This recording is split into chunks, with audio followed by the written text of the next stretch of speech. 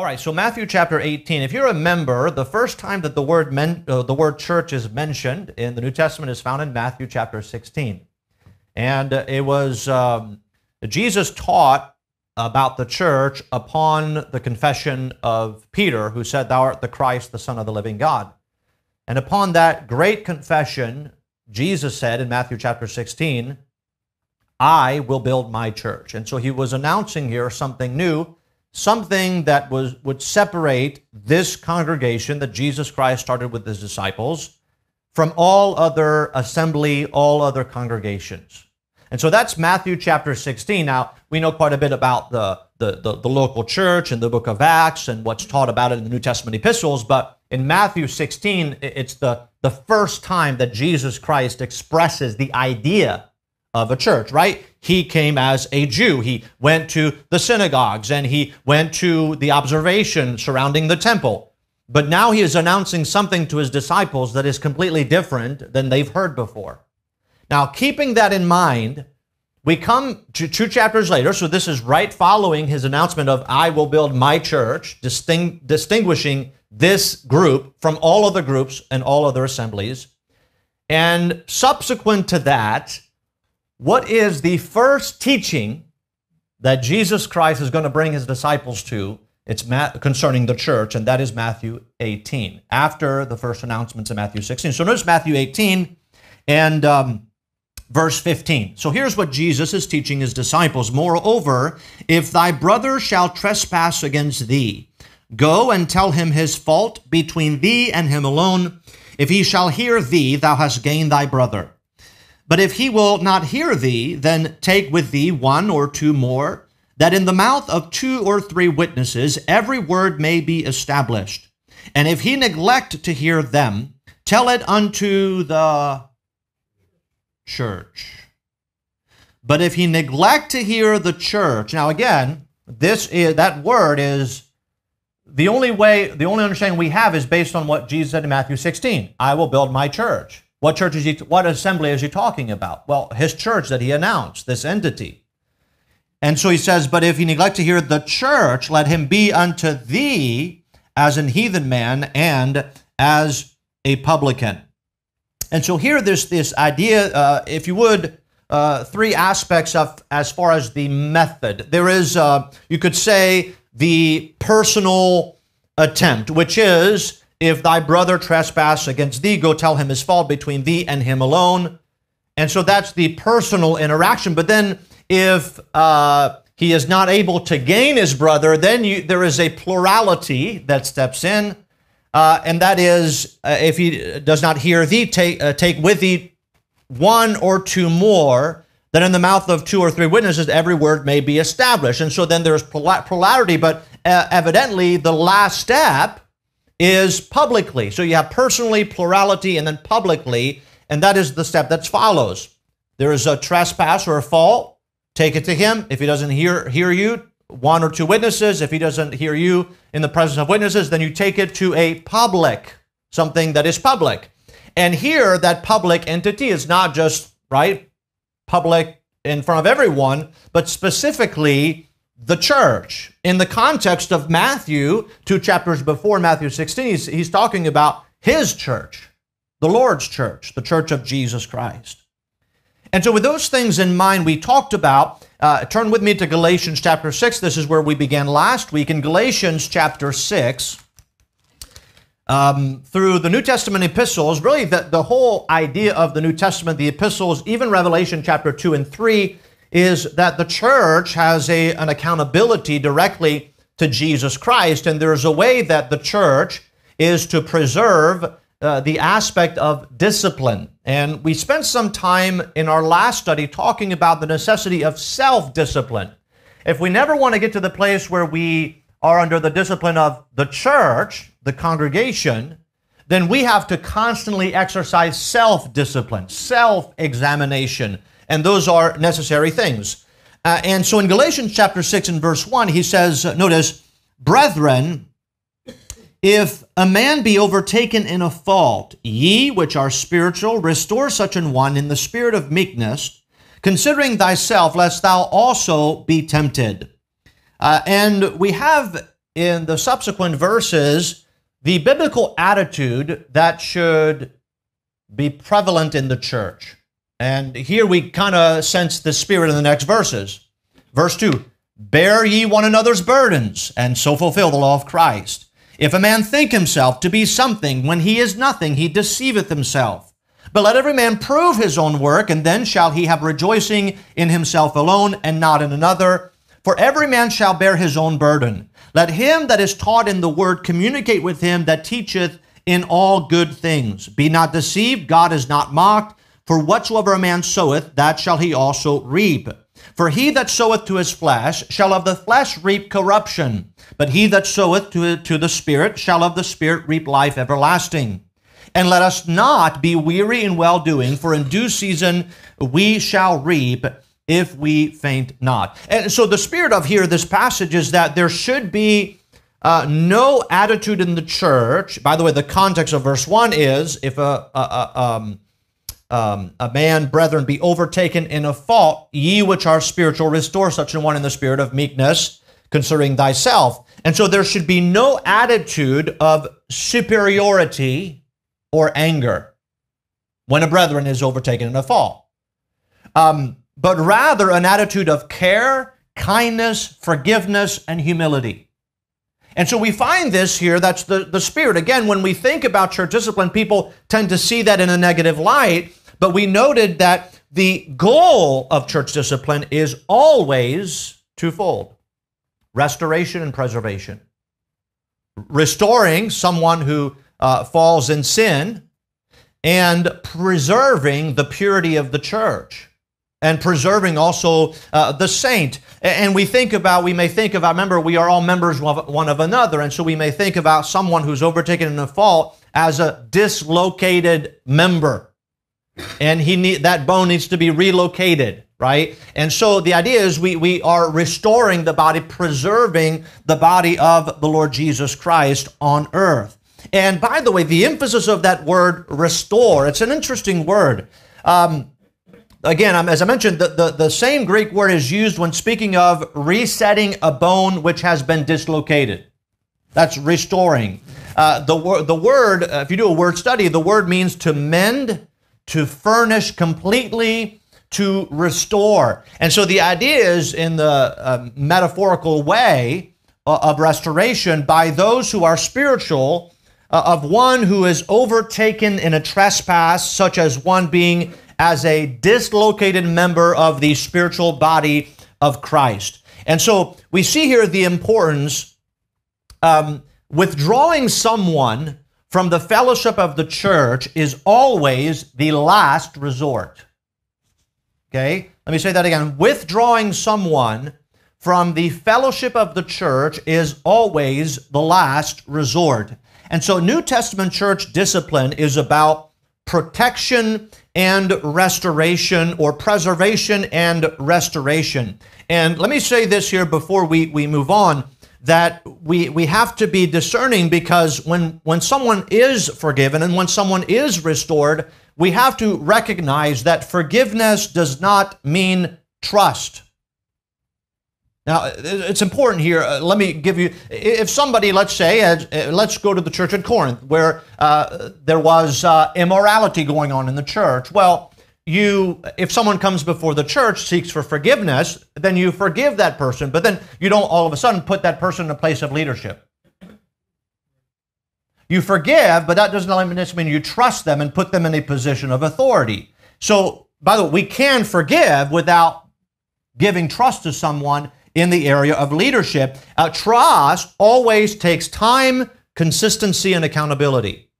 And so, uh, because I don't want us, because there's uh, the potential of us uh, falling in a ditch on both sides of not having a forgiving spirit, right? And we ought to. But on the other hand, uh, giving complete trust to someone that's forgiven, and, and we ought not to do that. And so, um, and so we have to be uh, conscious of this. Now, let me establish here some things about uh, the idea of the principles of church discipline. Uh, you see, the Word of God, I believe, sets for us uh, principles or laws that are to be followed in the practice of proper church discipline. And, and so here, let me put it this way. The first admonition is, is, is this is something for every church member. When we think about the area of church discipline, what is it that we all need to live by? Here it is. Number one is the law of love. The law of love. Um, let's look at a few scriptures. I'm going to have uh, folks turn, who'd like to turn to John 13, verse 34 and 35. All right. Uh, Ray, uh, John 15, 12.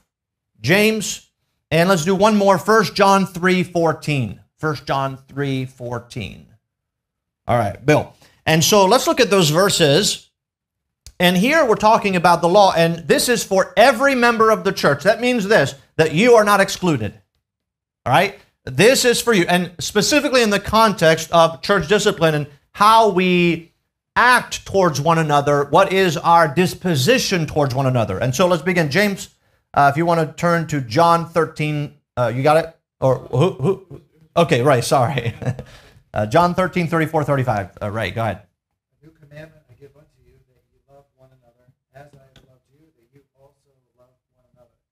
By this shall all men know that you are my disciples, if you have loved one to another. Okay, now that is a very strong statement, is it not? By this shall all men know that ye are my disciples, if ye have love one for another.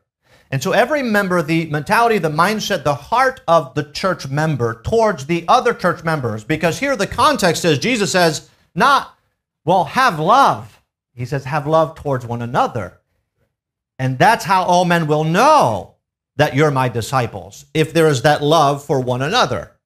So the specific is love is always demonstrated, okay? It's not theoretical, right? In other words, you can say, I love my brother, but how is that manifested? Okay? Love is never theoretical, it is always practical.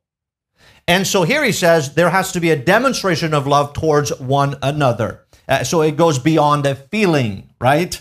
Uh, let's go. Who like uh, James? I think you had John 15, 12. Go ahead.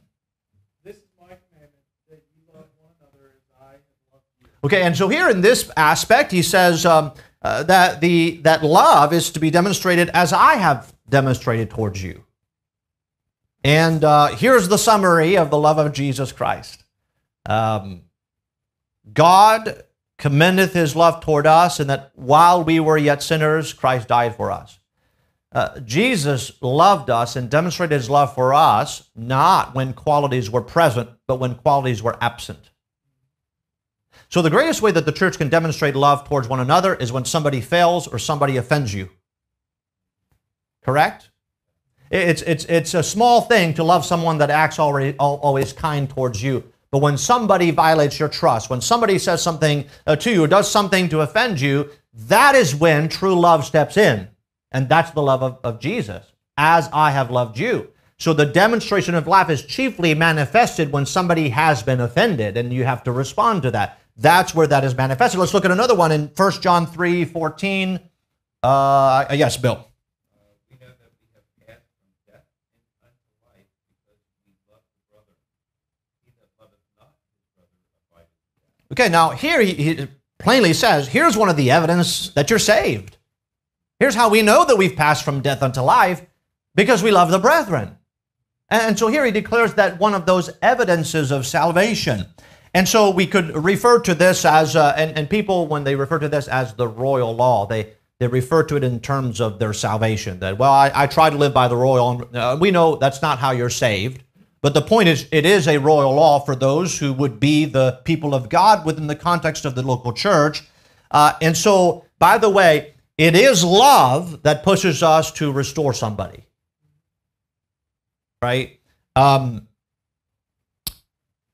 the lack of action or discipline. By the way, we understand that in the book of Proverbs with regards of, uh, of parents towards their children. If the parent does not take upon themselves to discipline their children, God says they don't love their children. That's pretty categoric. And so the same idea is within the context of the church. If the church does not act, let's say somebody is overtaken in a fault, if the church does not act as the church at Corinth, they ignored it, that is not a sign of love. That is not, it's the opposite. It communicates that there is no care for the body. And so that is, again, the prevalent attitude and spirit for every church member, the law of love.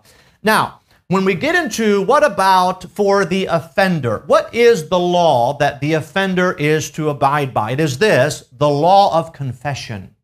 The law of confession. So for every member, the law of law. For the offender, the law of confession. Uh, uh, turn with me. Who'd like to read? Let's all turn, but uh, who'd like to read James 5 1? James chapter 5 and verse 1. All right, Ray. And then a little later, we'll go to who'd like to read 1 John 1 9. All right, uh, Frank. So, uh, what is the law for the offender? So, James 5, actually, uh, did I say 1? 516. Let's go to 516. James 5.16, confess your faults one to another and pray one for another that you may be healed. The effectual, fervent prayer of a righteous man availeth much. Okay, now do you notice what is connected to confessing? Confess your faults one to another and pray for one another that ye may be healed. So, in other words, confession brings healing, or we could say restoration. And so, where a member has wronged another, his duty is to set things right between the two parties. Uh, and so, we think about um, the personal sins. I think that we could go down the line. First of all, our personal sins have to be confessed to God. All right, 1 John 1 9. Um, Frank, do you want to read that verse now? 1 John 1 9? If we confess our sins, he is faithful and just to forgive us our sins and to cleanse us from all unrighteousness. Okay, so personal sins should be confessed to God personally. Private offenses between two parties should be confessed privately to the other person that you've offended. And public sins should be confessed publicly. Okay, and that's before the church, in the context of the church. And so for the offender, the one who has offended, there's one law that he ought to live by, whereby comes healing, and that is confession, the law of confession. So for every member, the law of love. For the offender, the law of confession. And I've said this before, but to confess means to say the same thing. So, um, um, I gave an example, but in our church in France, a young man had uh, committed fornication to a woman that he was, uh, a young lady who he was engaged with. And so they were intimate before marriage. And it became public, and people in the church knew it. And so when he came before the church, he said, Here's what I've done I have committed fornication. And he came before the church. By the way, he was forgiven and restored. And that's a wonderful thing. But the point is, confession means to say the same thing, not, well, I, I made a mistake. Right? Or, well, I, I made a boo boo. That's not confessing. Confessing is to say the same thing that God says about it. And, and by the way, that makes it real. And it's, by the way, it's hard to forgive and restore un- unless you know what that person has done. And by the way, when somebody, let me put it, when it's public, people know what it is, so you don't need to hide it and say it's a mistake. Everybody knows what it is, so you don't need to lessen the sin, you just need to say what it is. And so we see here that the, the law for the offender is the law of confession. But let's go into what about for the accused? So for the accused is the law of initiative. Uh, turn, uh, let's go to Matthew chapter 5. In Matthew chapter 5, and uh, who'd like to read verse 23 and 24? Matthew chapter 5, verse 23 and 24. James, go ahead. yes. Therefore, if thou bring thy gift to the altar, and there rememberest that thy brother hath aught against thee, leave thy uh, leave there thy gift before the altar, and go thy way. First, be reconciled to thy brother, and then come and offer thy gift. Okay, so here you've done something, right? You're the accused. And so here he says, now before you come, and this is in the Sermon on the Mount, Jesus is teaching his disciples some principles about life. And he says, look, if you bring your gift to the altar, which is, right, seeking uh, communion, fellowship with God, reconciliation with God, uh, first go and be reconciled with your brother. If you know that you've done something to offend him, and so for the accused, what is the law that he is to live by? By the law of initiative. He is to initiate. This law ought to be exercised even when no offense has actually occurred. Now, that, that seems be, may seem to be strange, but, but the truth is, and uh, we there ought to be an uh, a, initiation on the part of the person that has been accused. You know, a lot of times people get offended over misunderstandings. It happens a lot in church over something that is misunderstood. And so, if there's something that misunderstood, by the way, the thing is to try to initiate a reconciliation and not to say, well, there was it was just a misunderstanding, so let's just move on with our life. The animosity is still there. And so, for the accused, the law of initiation. So, for all members, the law of love. For the offender, the law of confession. For the accused, the law of initiative. But let's look at one more for the offended. Well, what if it, you are you've done nothing wrong, but you have been offended? Well, let's look at a few passages here. Who'd like to uh, read Luke 17, 3, verse 3 and 4? Luke 17, verse 3 and 4. All right, Ray, and then uh, Matthew 18, verse 21 and 22. All right, uh, Frank. So Luke 17, 3 and uh, 4. Go ahead, Ray. Take heed to yourselves. If thy brother trespass against thee, rebuke him, and if he repent, forgive him.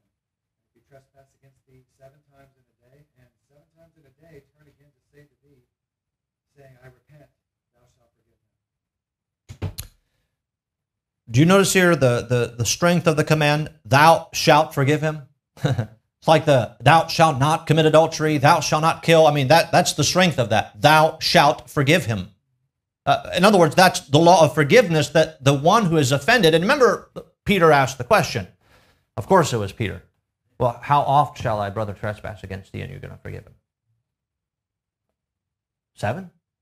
And Jesus says 70 times seven. And uh, it doesn't mean you have to count 70 times seven. It simply means stop counting. uh, it's, it's more than you think. Um, God doesn't keep track of how many times we've offended him. If we confess our sins, he is faithful and just to forgive us our sins. There is no count. And because we enjoy that type of forgiveness from God, then those who offend us should enjoy also the same type of forgiveness from us if we know something about it. See, here I, I think the greatest way, uh, the greatest way to put our heart in the right disposition to forgive somebody else is if we consistently come to God and ask for His forgiveness every time we offend Him. I'll tell you, those who are not willing to forgive are those most likely who are not consistently coming to God and asking for His forgiveness. Because if you enjoy that type of forgiveness, it's hard to say, well, I'm forgiven all the time, but I'm not going to forgive this one offense. Uh, you, you see, uh, so for the offended, the law of forgiveness is what uh, he is to live by. Let's look at the other one, Matthew 18, verse 21 and 22. Uh, go ahead, Frank. Then came Peter to him and said, Lord, how oft shall my brother sin against me, and I forgive him? Till seven times?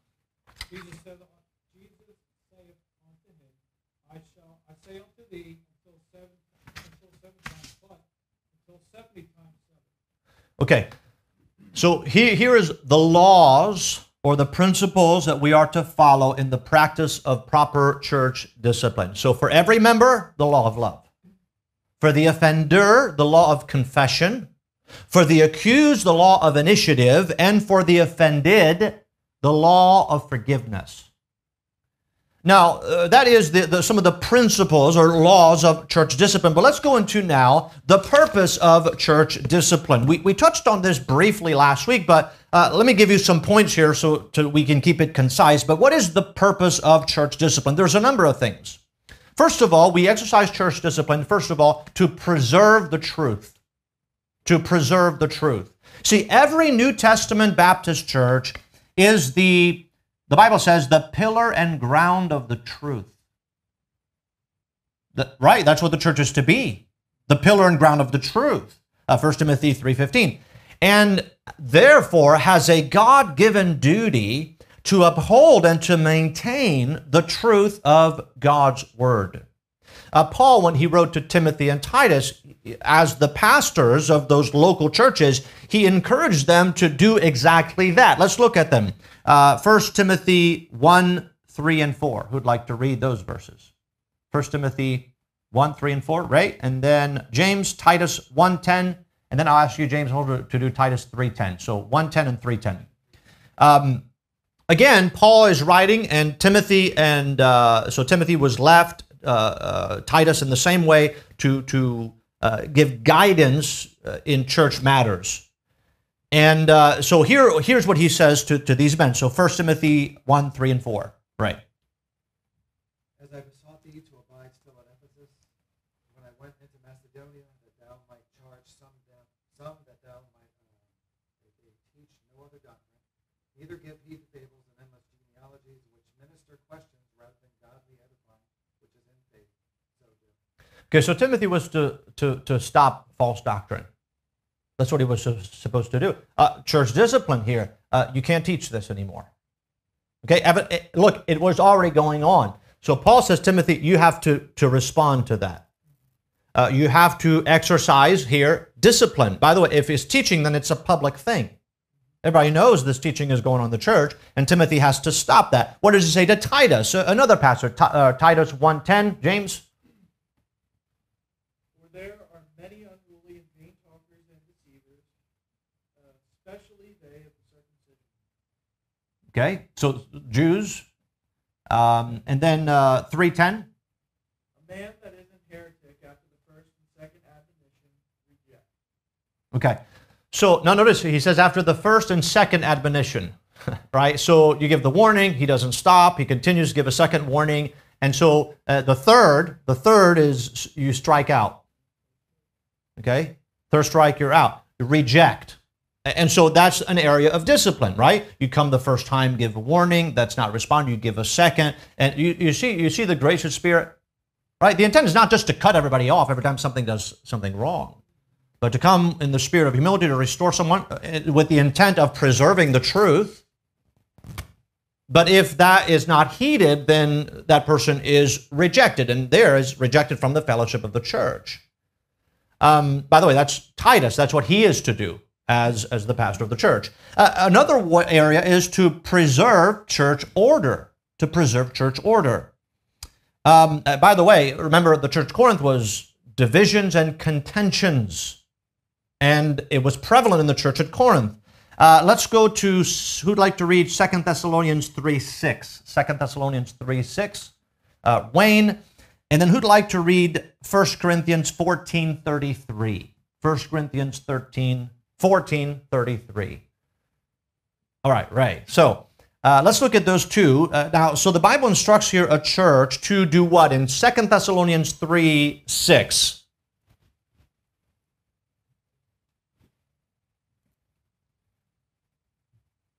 Okay. Now we command you, brethren, in the name of our Lord Jesus Christ, that you withdraw yourselves from every brother that walketh disorderly and not after the tradition which he received from us. Okay, so evidently, right, Paul in Thessalonica had ordered certain things. Later, Timothy and Silas had gone back to Thessalonica to check up on him and to confirm their faith. That we see that in 1 Thessalonians chapter 2. He says, Here's the reason why I sent Timothy to you to instruct you specifically in those areas. And so he says, You're supposed to withdraw yourself from every brother that walketh disorderly according to the tradition you have received of us. And here he's not necessarily talking about uh, right, the, the, the, the command says the tradition. That means that Paul had set certain things in order. And he had told Timothy and Silas to set certain things in order, and some were walking disorderly. And so that's the general idea of disorderly conduct in the church that you're not supposed to let somebody, uh, let me just give you an example. In a church meeting, and somebody always gets up, and whatever the church wants to do, they always stand up and they're always angry and they're, they're causing, a, a, uh, they're hindering the spirit of the church. And so he is to be thinking about that, of those who walk disorderly. Uh, let's look at the other one, 1 Corinthians 14 33. Ray. God is not the author of confusion, but of peace, as in all churches of the same. Okay, and then uh, read, go down to verse 40 as well. Let all things be done decently and. Okay, so a church is organized, and there must be good order for it to function as God intends.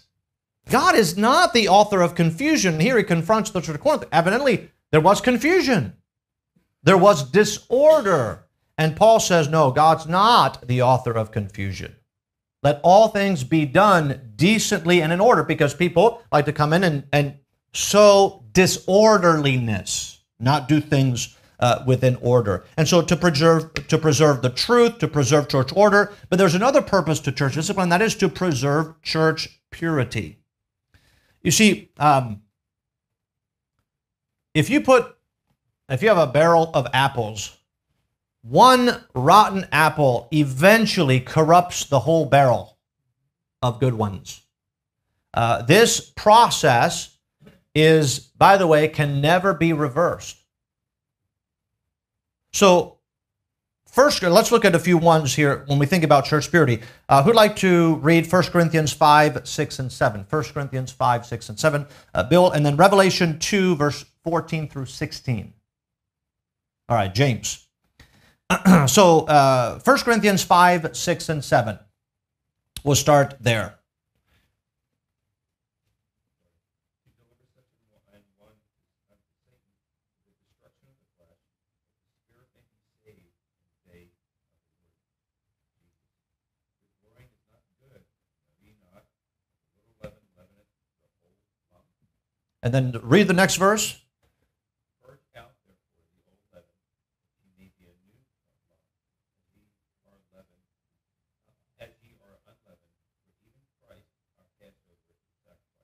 Okay, so here he says, uh, and again, he had mentioned uh, immorality in the church at the beginning of that chapter, and now he says you have to purge out the old leaven. And that's a reference back to the Passover, to the Feast of Unleavened Bread, where all the leaven was to be removed from outside their houses.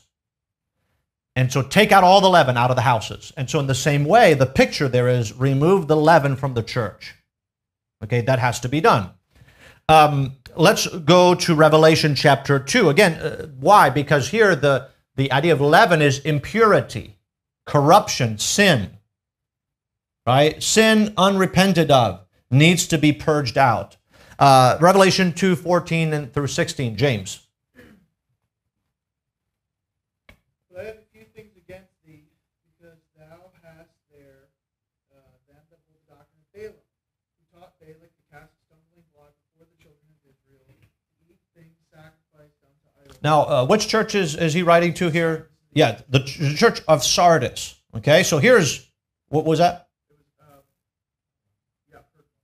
Uh, Pergamos. Okay, uh, and so he, he says here that uh, there is this doctrine, those who hold this doctrine, uh, and so what does he say next? What do we what do we do with those?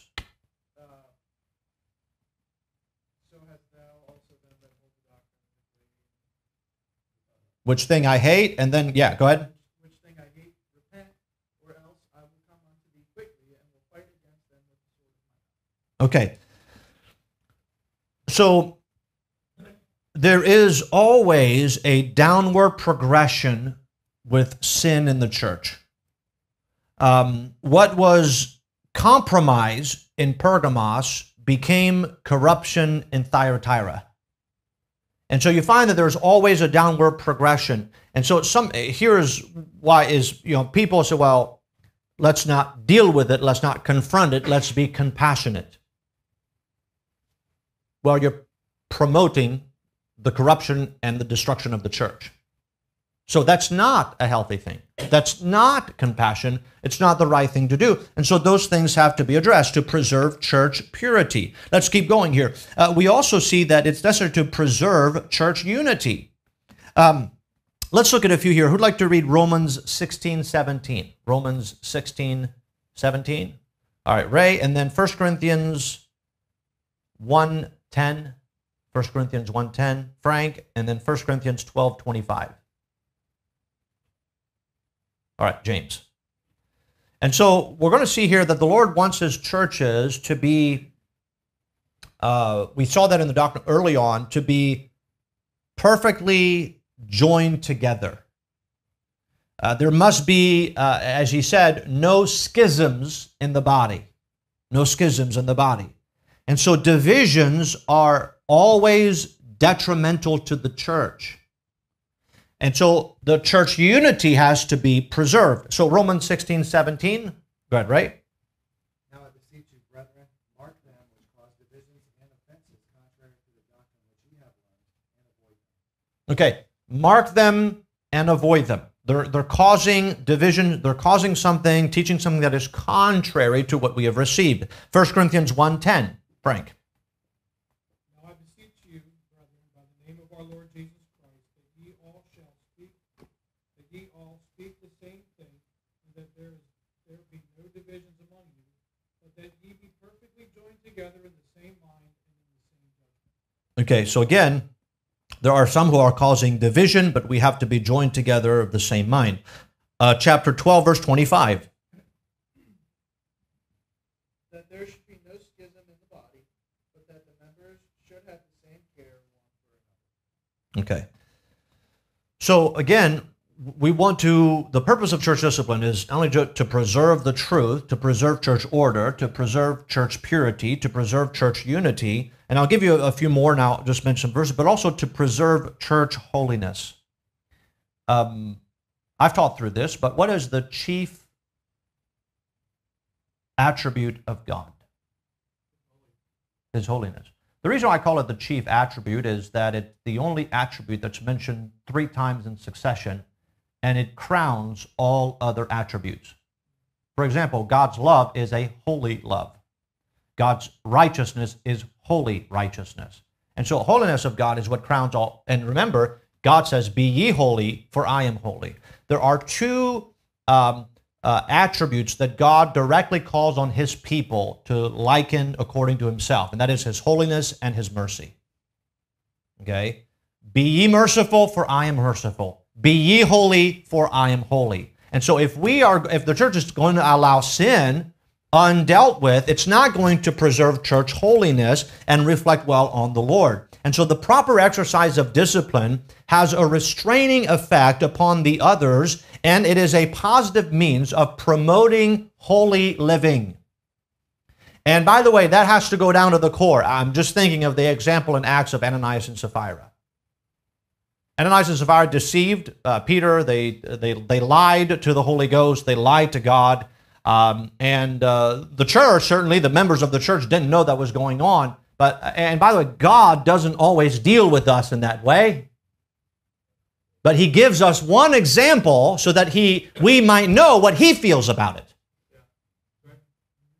And so he says, if you're going to be a deceiver, here's what I think about it. Now, God is a merciful God, and he doesn't, he is long suffering.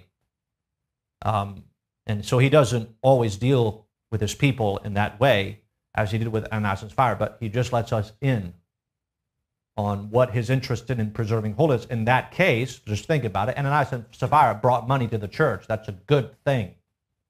They just deceived, pretending that they brought all, and they didn't. It's not like they didn't bring money to the church and God killed them. They brought money and God killed them. Why? Because they lied about it. And so God just lets us in. in mean, you think about it. Uh, if you remove the deception, they brought money to the church and God killed them. Sounds strange, doesn't it? No. They brought money and they deceived the church about it. And God killed them. And so that's what God thinks and how he wants to preserve the holiness of the church. Those who are act this way, God says, should not be part of the church. Now, what does that take? Is obviously we're every time that's a hard issue. And so we have to be exercise constant self-discipline in our own lives. Right? If we judge ourselves, we will not be condemned with the world. And so there has to be that constant self-discipline so that we never get to the point where we have to exercise public discipline in the life of the church. It also to pres- it's also uh, the purpose of uh, discipline is to preserve the sinning church member. Remember Galatians chapter 6. The purpose, we talked about this last week, that the purpose of, of church discipline, public church discipline, is always, always to restore the offending, uh, the, the, the member who, is, who has offended. Always restoration. Uh, I mentioned last week, every time that I've seen that exercised, it has never been a bad thing. It's always been a good thing for both the church and for the offending member. And the church has always been quick to forgive. And I don't know if you've had the opportunity to see that in a church that you've been. I've had the opportunity to set on a number of occasions. And it's always something that's good, healthy, strengthening for the church. And the sinner has always been restored, but he has to come and confess. He has to abide by the law of confession. And so I've never seen the scenario when someone has, has committed a sin and he's come before the church and says, I've sinned and it's terrible. I've asked God to forgive me and I'm coming before the church and I want you to forgive me. And I've never seen anybody in the church saying, ah, no, we're not willing to forgive you. I, I haven't seen that happen. Right, because why? Because I, the, the, the, the members is they abide by the law of love, by the law of forgiveness. And so uh, may the Lord help us to see that church discipline, which is seen in a negative as a negative thing, is actually a positive thing. Right? The, the, those are positive purposes. To preserve the truth, that's a good thing. To preserve church order, that's a good thing. To preserve church purity, that's a good thing. Unity, that's a good thing. Holiness, that's a good thing. Uh, uh, to preserve the, the, the sinning member, that's all good stuff. And so uh, church discipline has to be seen as something that's good, productive, and healthy in the life of the church. And that if the church doesn't exercise uh, discipline, then it's corrupting itself, it's hurting itself.